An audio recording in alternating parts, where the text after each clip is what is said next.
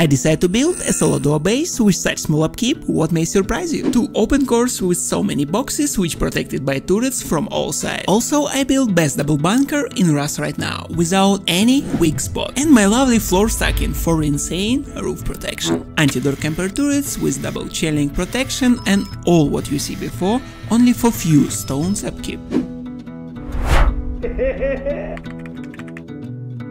From both sides, two auto turrets, which see all blind spots behind your base. Don't worry about primal weapon or bullets, but high velocity rockets can destroy it. These turrets only versus door camper. One more what you need to know. You can add shooting floor or additional honeycombs if you have resources, or compound with externals for example, but for such resources it's best choice. There are two entrances on different sides with two furnaces rooms only for charcoal.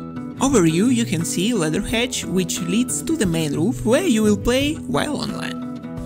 From both sides are the turrets behind shelling, so it's hard to destroy even by rockets. Simple roof peaks from each side and shotgun trap. The main idea of this base, cheap but at the same time good protection with comfy space for boxes and all useful deployables. Big thanks to today's sponsor Rustly. Rustly fast growing Rust website with cool and interesting games like Mines. There are a lot of deputed methods like using crypto, Rust skins and your credit card. And withdrawing skins is easy and instant as well. You can battle against real players or robots in case battle, coin flips and even mine. Using my code you can get 5 free cases right now or you can check daily crates every 24 hours. Click link in description or go to rustly.com and use code LIMI. Let's back to the video.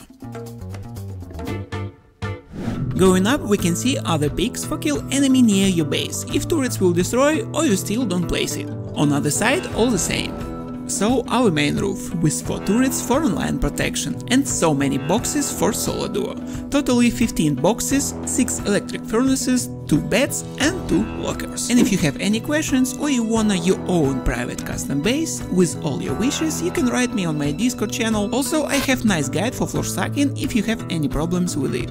All useful links in description. Let's continue. Our first stability bunker, if you wanna open it, destroy it with half wall and that's it. As you can see, it's our second small open core before you don't build last step. Again turrets and boxes. I hope it's enough space for duo. Behind door we have another one another one. High quality metal bunker for main TC, and same steps to open it, so nothing complicated. And if you like my bases, don't forget to follow and press like. 4 garage doors and armored window for offline protection. You also often ask me about raid cost to TC, so my new experimental section on this video.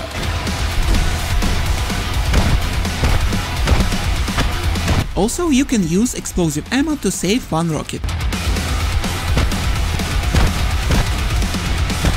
After 16 rockets they have access to open core, but turrets still alive and you can add garage doors for additional protection, if you have gears.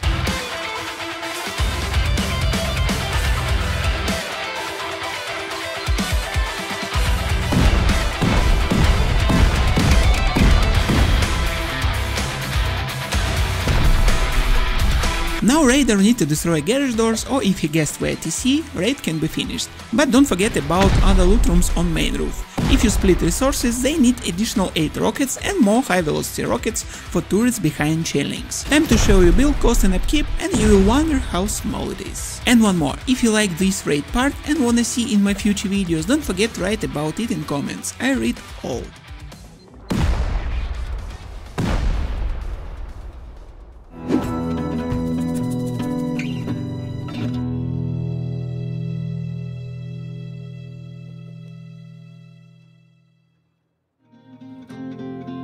So it's classic circle base, let's start with triangle foundation and single wooden door frame. Later we'll destroy it. Also first foundation very important, place like on video please. Now close your roof and place twig construction, don't upgrade it, on future we'll remove it to upgrade floor stacking part.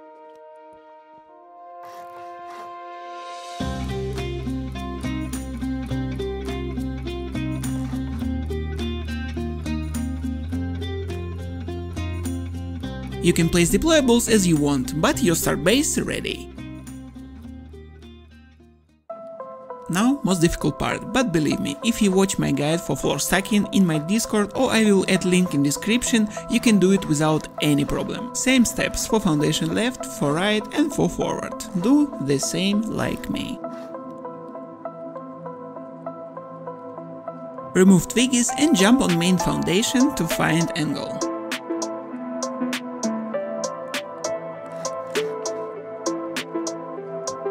Center to center and try slow down from low walls. Find this movement when your model drop without any buttons. When you see blue foundation, fast click forward. On my guide I show my keyboard for better understanding.